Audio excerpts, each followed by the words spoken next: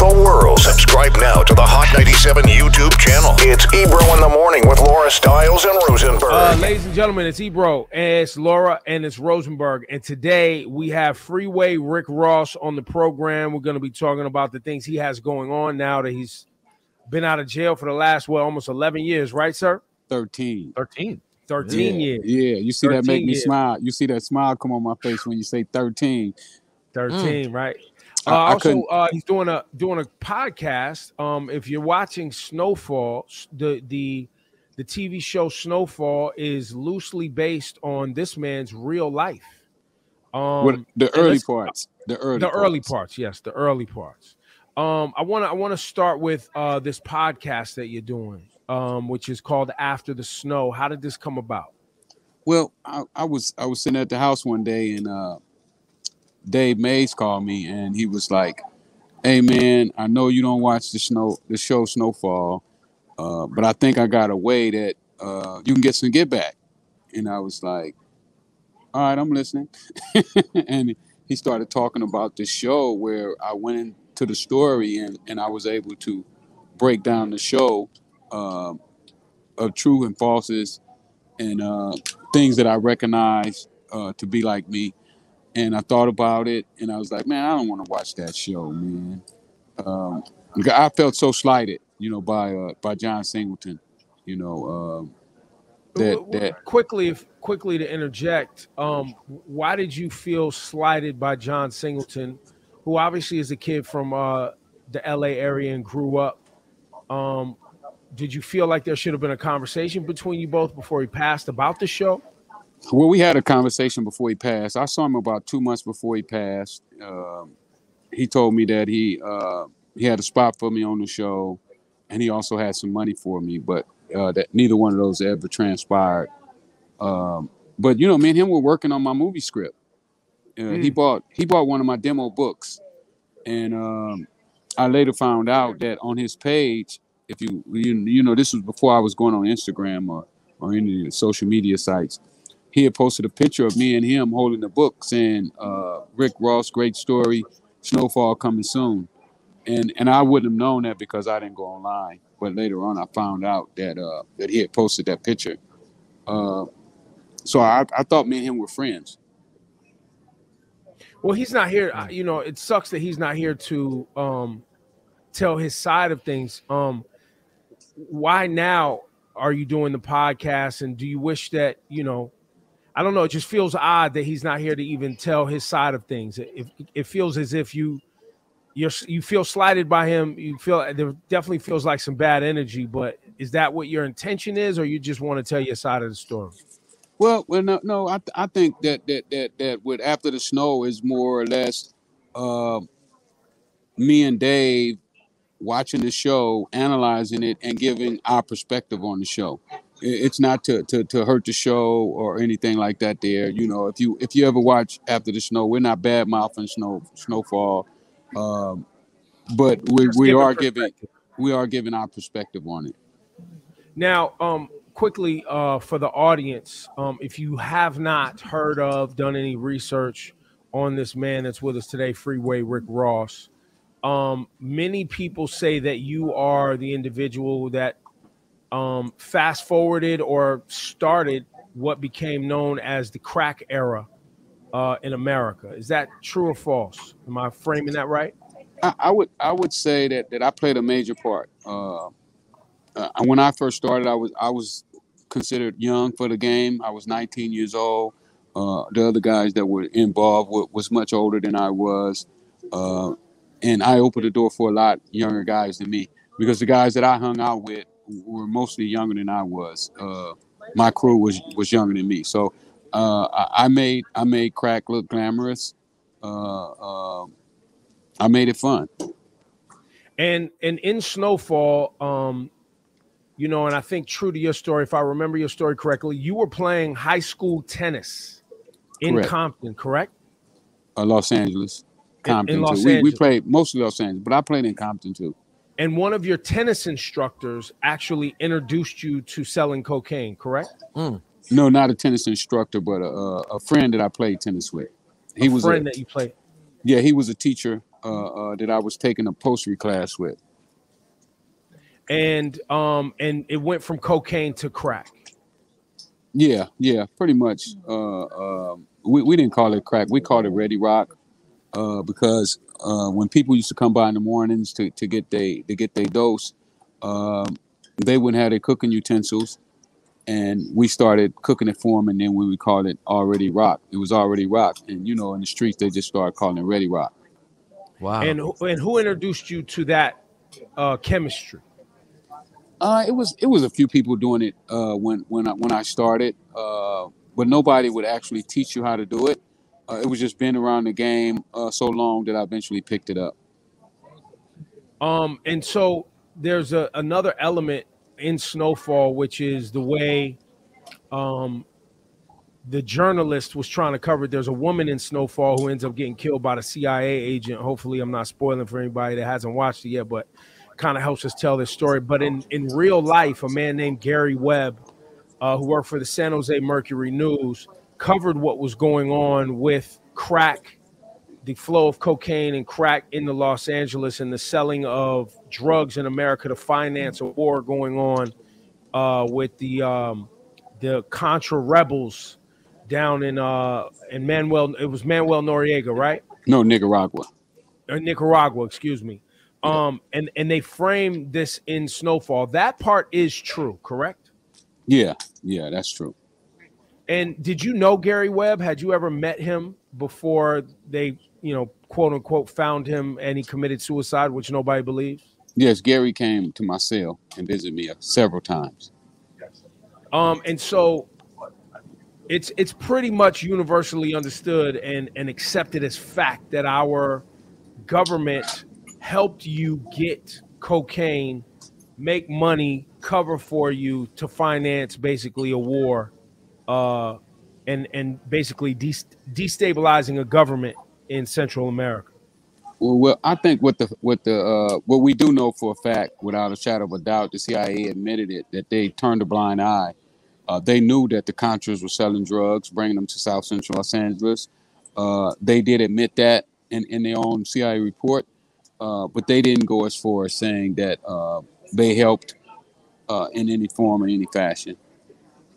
Do you remember being young? I heard rumors, and I think Gary Webb wrote about this. I remember this.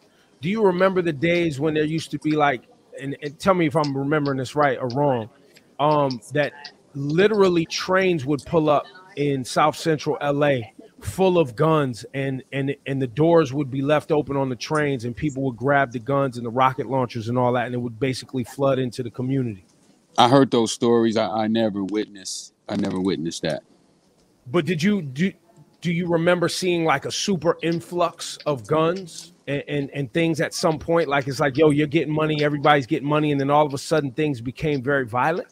Well, you figure that that what happened is uh, young guys start to have millions of dollars, uh, and and they wanted guns to protect themselves. They felt that uh, they were going to be people who were going to try to take their money, and they wanted to have some type of protection for themselves. So they took the money that they made from selling drugs and they bought high-powered rifles and uh, special pistols, in- including myself. Um, and and it also too kind of uh it destabilized the while it was destabilizing the government in in South America, Central and South America. Do you remember watching the community change also, like seeing your community become like this violent, uh, unstable environment of drugs, guns, and gangs? Do you do you kind of like visually like when you look back on that? Do you remember seeing it that way? Well, well, our neighborhood was already pretty violent with gangs. Uh, gangs that started fighting each other before before the crack came in, before cocaine. Uh, we were already having gang violence. Uh, what I would say happened is that the gangs were able to get uh, more high power weapons, and uh, it, it, it definitely increased the violence. Um because there there are there has been a sentiment and and I'd love to hear from you that people want to blame you uh for crack. And what do you say to that? Well, uh, uh, my, I guess my judge said it best uh, uh, when I got sentenced in, in, in Cincinnati, Ohio. He told me, he said, I know the prosecutor and the police and everybody are blaming you for this, but I sentenced my first drug dealer when you were born. The same year you were born is the same year I sentenced my first drug dealer. So Mm. drugs have been here before me. They'll be here after me. And uh, if people want to, you know, place the blame on me, I will accept it. But then you also have to place the blame on the guy that that introduced me to drugs. hmm And then you just Um, keep going and keep going and and and I mean you could do that to infinity if you're just blaming people. I'm more looking for solutions instead of uh, pointing fingers. Um, no, I appreciate that that that perspective too. You've also, uh, I guess, in the past took issue. You know, you, you brought up John Singleton and issue with Snowfall, but you took issue with the rapper Rick Ross too. I think early on. And, Yeah, and we're I vocal about I- that. Did you guys ever iron that out? Back in No, I- 2010, I, think. I sued him. I lost in court. Uh, the court said I should have filed my lawsuit uh, five days before I got out of prison. Uh, but you know, I, I've had a lot of stuff taken from me uh, since I've been home from prison. You know, uh, my documentary "Freeway Cracking the System" was also taken from me, uh, and I, I just feel that it's an intellectual ripoff. You know, people are, are, are ripping my story, but they're not taking any of the uh, uh, uh, the blame or any of the, the responsibilities that I have to take. They're just taking all the upside, the glamorization of it. Exactly. And and I think that's the poignant piece of this podcast, right? You being able to have a voice here. Exactly. Um, after the snow, uh, Freeway Rick Ross, Dave Mays is also on the podcast. Yeah, Dave Mays. Uh, he he he came up with the idea, um, and and and and he really does all of it because I, I get a lot of offers to do podcasts and and and different little things, and and I've been turning them down pretty much because of my schedule is is so busy. You know, uh, I'm juggling about five or six different businesses right now, and and I really didn't need another one, but uh, Dave convinced me that that this was the right thing to do and uh, I, I really love the idea. Now that I'm doing it, I'm enjoying uh, watching the show. Uh, I, I'd had din- dinner, with, I mean lunch with Franklin before too. Uh, one day I was at Whole Food downtown LA, and um, I was sitting at the table, and this guy walks up to me, uh, and I didn't know who he was because I never watched the show, and he had this British accent, and uh, uh, one of my one of my uh, managers said, "Oh, that's uh, Franklin from Snowfall." and uh, I invited him to sit down and have lunch with me, and we had a nice conversation. Do you now? Do you like the show, even though you feel slighted, um, and you feel as if there should have obviously been, you know, you should have been more woven into the upside of the show. Do you like the show?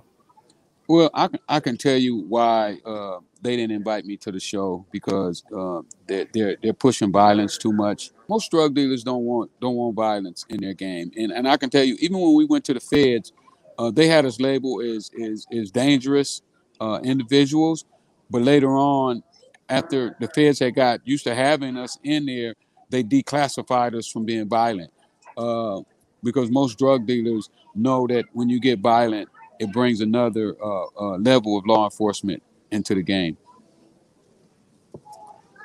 Ladies and gentlemen, we have Freeway Rick Ross on here, uh, new podcast after the snow. Um, I think you know it does seem in Snowfall there, obviously, and in a lot of drug uh, documentaries, movies, whatever. There is a hyper focus on the violence, so it's it's it's interesting to hear you frame it that way uh, for people who aren't in that game to understand that.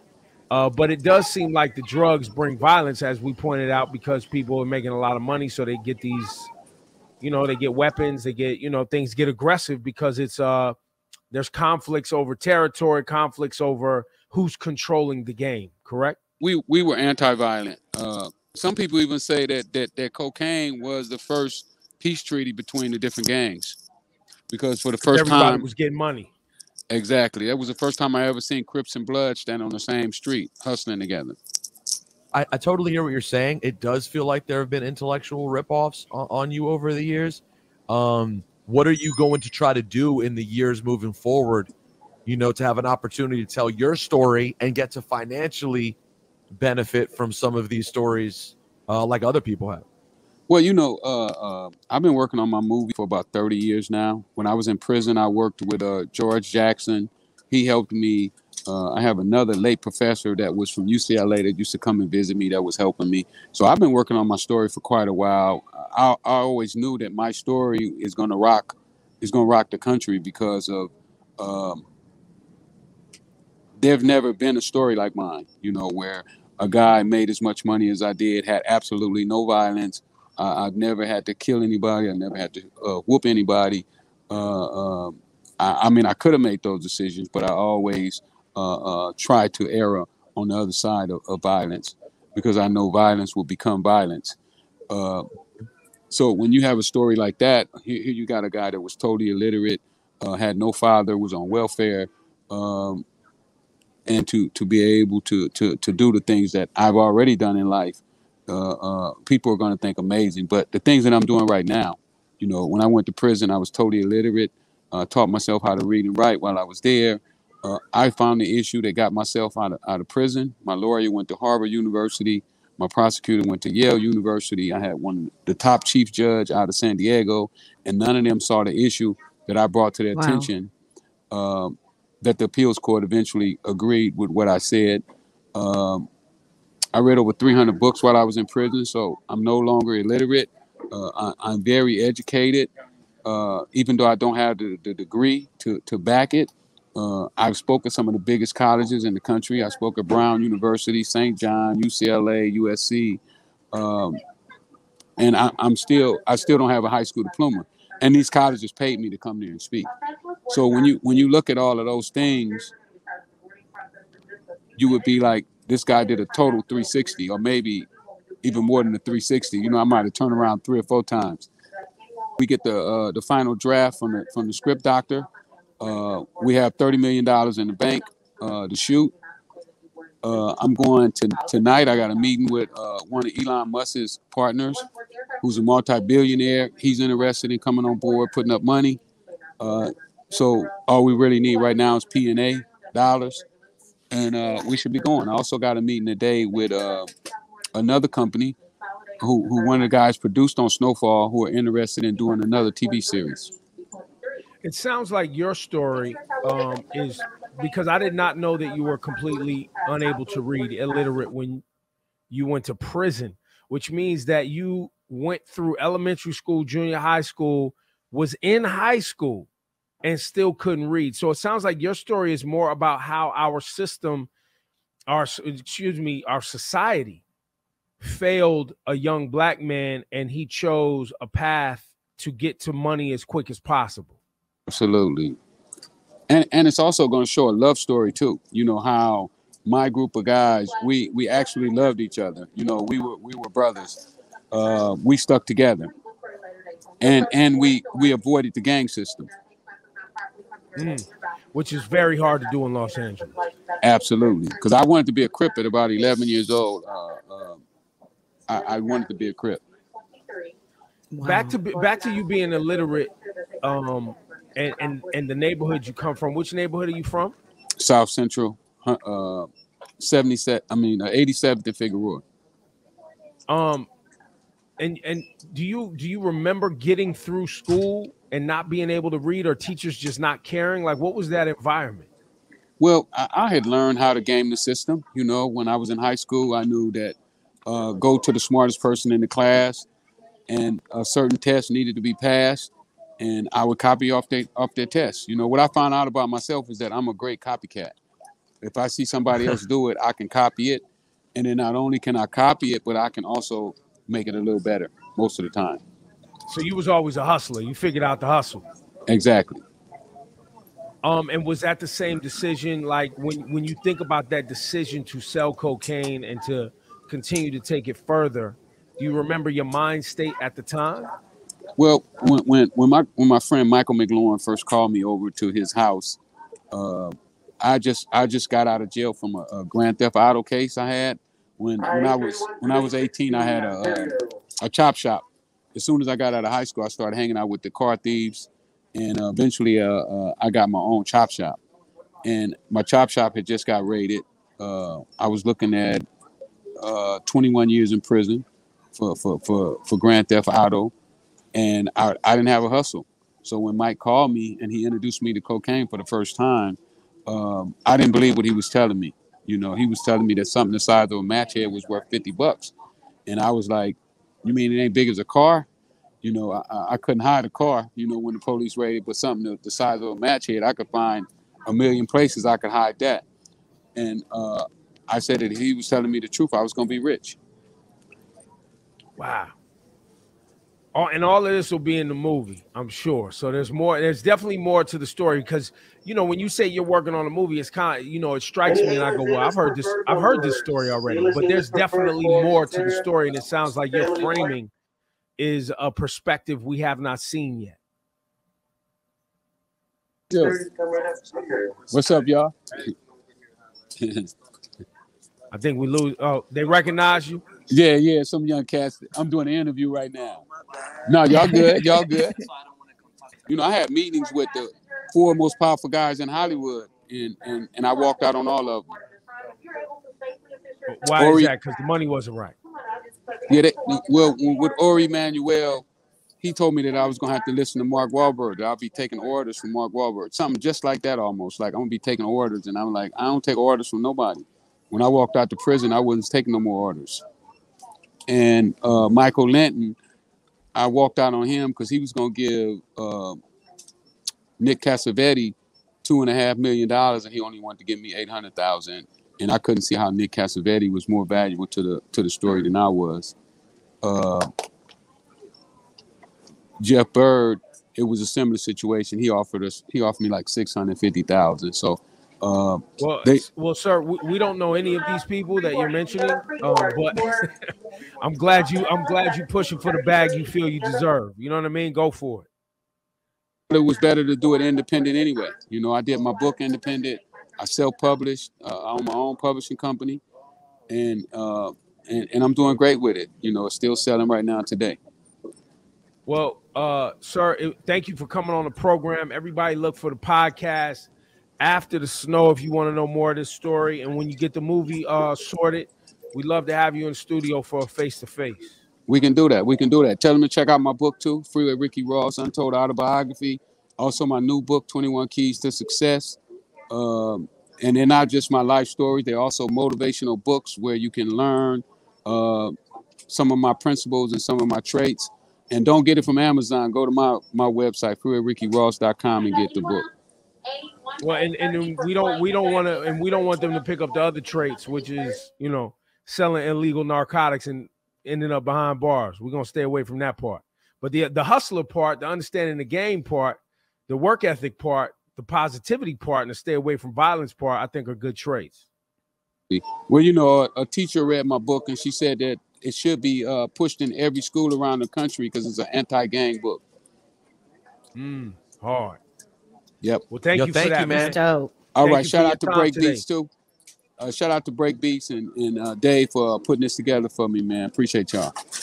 There it goes. Freeway Rick Ross. We'll see you on the next one. All right. Peace Thank out. you, sir. Thanks, Take man. care.